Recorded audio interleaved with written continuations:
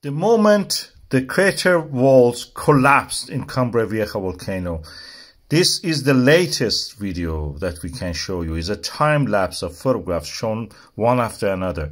As you can see, the top of the volcano is gradually being abraded, eroded away by the heat, by the eruption, by the flow of the magma and uh, ashes, completely getting sandblasted as if.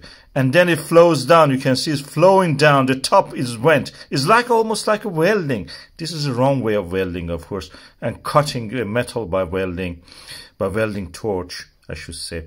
And uh, that's what happened there. You did it the wrong way. The top of the volcano collapsed. Run down in the slope of the volcano.